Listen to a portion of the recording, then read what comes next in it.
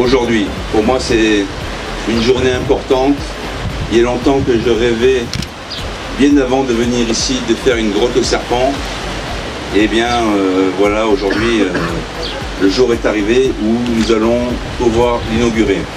Alors, je suis, Nicolas Matevon, je suis professeur à l'Université de Lyon à Saint-Étienne en France. Et nous travaillons à, à Crocopark sur en particulier la communication acoustique chez les crocodiles. Donc il y a pas mal de scientifiques hein, qui viennent travailler sur Crocopark.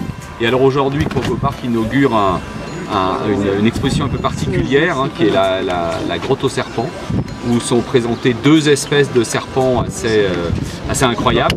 Par l'anaconda. L'anaconda, c'est un serpent d'Amérique du Sud qui vit euh, dans des zones de marécage en Amazonie par exemple, ou dans les Llanos au Venezuela, et qui peut atteindre une, taille très respectable, de plusieurs mètres.